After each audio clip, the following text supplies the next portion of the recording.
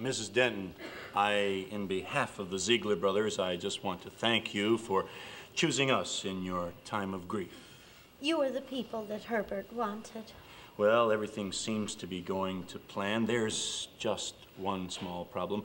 Our regular organist is sick, but as soon as the replacement comes, then we'll get on with the program.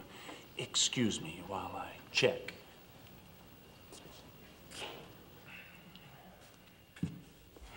Look, where is this guy anyway? He should be here any minute. Well, I hope he's experienced in these matters. Oh, oh, he's he's one of the best. He's the main guy at Madison Square Garden. He plays at all the, the hockey and basketball games. Well, I wish he'd just get here. He, oh, how you doing? Come on. Oh. Mr. Ziegler, I'm Harry Osburne, the organ player. Fine, fine. Thank God you're here. I thought you'd never get Oh, here. I'm sorry I'm late, but the Knicks went into overtime. Fletcher, show him the organ. Let's get started.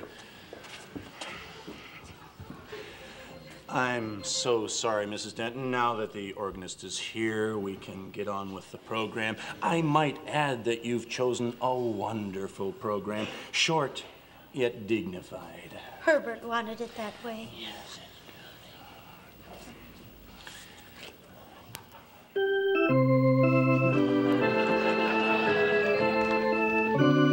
Stop it, stop it. What are you doing, you fool? Well, you said to get started. Well, for crying out loud, this is a funeral. Play something appropriate. I'm so sorry, Mrs. Denton. There seems to be some mix up with the organist.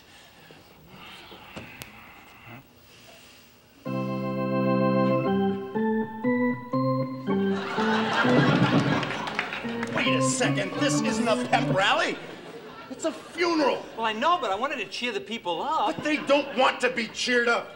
Play a nice, soft song. Mr. Ziegler, that man is disturbing me. I know that Herbert didn't want this. This is not dignified like your brochure said. You're quite right. I'm so sorry. Please, I, I think I've straightened everything out. Don't worry. Sit down. I've